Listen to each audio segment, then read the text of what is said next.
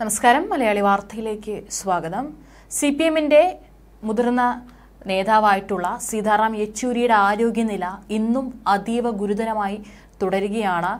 ഡൽഹിയിൽ നിന്നും അത്ര ശുഭകരമായ വാർത്തകളല്ല ലഭിക്കുന്നത്. ശ്വാസകോശ അണുബാധയെ തുടർന്ന് ഡൽഹി എയിംസിലാണ് അദ്ദേഹം ചികിത്സയിലുള്ളത്. പക്ഷേ അദ്ദേഹത്തിന്റെ ആരോഗ്യനിലയിൽ യാതൊരു മാറ്റവുമില്ല. മാത്രവുമല്ല അതീവ ഗുരുതരാവസ്ഥയിലാണ് അദ്ദേഹം ഇപ്പോഴും തുടരുന്നത് എന്നുള്ള ദുഃഖകരമായ വാർത്തകളാണ് പുറത്തുവരുന്നത്. വെന്റിലേറ്ററിൽ കഴിയുന്ന അദ്ദേഹത്തിന് ശ്വാസതടസ്സമുണ്ടെന്നും ആരോഗ്യനില ഡോക്ടർമാരുടെ സംഘം സൂക്ഷ്മമായി നിരീക്ഷിച്ചു വരികയാണെന്നും സി പി എം അടക്കം അറിയിച്ചിട്ടുണ്ട്. ഏതായാലും അദ്ദേഹത്തിന്റെ നില അതീവ ഗുരുതരമായി തന്നെ തുടരുകയാണ്. ഇത്രയും ദിവസമായിട്ടും അദ്ദേഹം ആശുപത്രിയിലായിരുന്നു. പക്ഷേ യാതൊരു തരത്തിലുള്ള മാറ്റങ്ങളൊന്നും തന്നെ അദ്ദേഹത്തിന്റെ ആരോഗ്യനിലയിൽ യാതൊരു തരത്തിലുള്ള പുരോഗതിയും ഉണ്ടായിട്ടില്ലെന്നാണ് അദ്ദേഹത്തെ ചികിത്സിക്കുന്ന ഡോക്ടർമാരും അടക്കം അറിയിച്ചിരിക്കുന്നത്.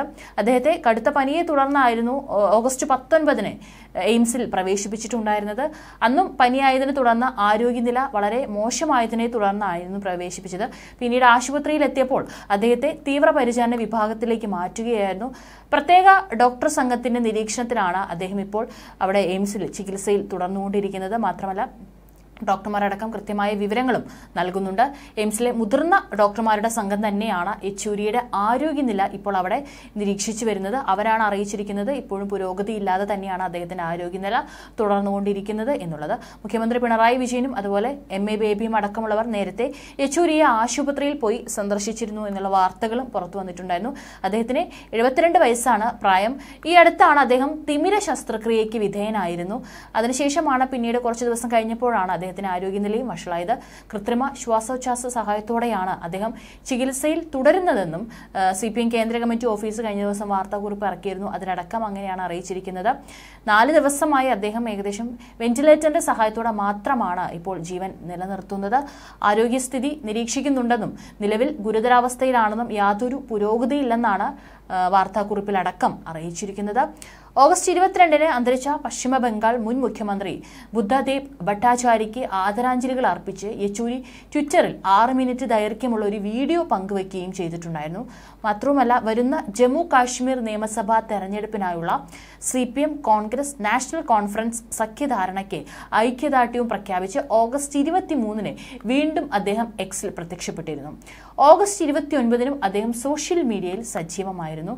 തന്റെ അടുത്ത സുഹൃത്തു കൂടിയായ അന്തരിച്ച അബ്ദുൾ ഗഫൂർ നുറാനിക്കും ആദരാഞ്ജലി അർപ്പിച്ചും അദ്ദേഹം എക്സിൽ പോസ്റ്റ് ചെയ്തിരുന്നു.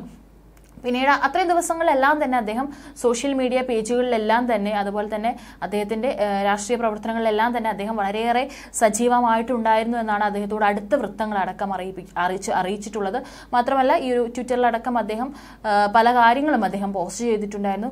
എന്നാൽ പിന്നീട് ഓഗസ്റ്റ് മുപ്പത്തൊന്നിനാണ് അദ്ദേഹത്തിന്റെ ആരോഗ്യനില പെട്ടെന്ന് ഗുരുതരമാകുന്ന ഒരു സ്ഥിതിയിലേക്ക് വന്നത്.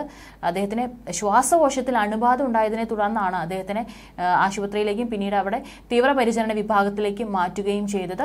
അതിനുശേഷം ഒന്നും തന്നെ അദ്ദേഹം യാതൊരു തരത്തിലുള്ള സോഷ്യൽ മീഡിയയിലോ അദ്ദേഹത്തിന്റെ രാഷ്ട്രീയ പ്രവർത്തനങ്ങളിലോ ഒന്നും തന്നെ അദ്ദേഹത്തിന് ഇടപെടാനായിട്ട് സാധിച്ചില്ല. അന്ന് മുതൽ തന്നെ അദ്ദേഹം ആശുപത്രിയിൽ ചികിത്സയിലാണ്.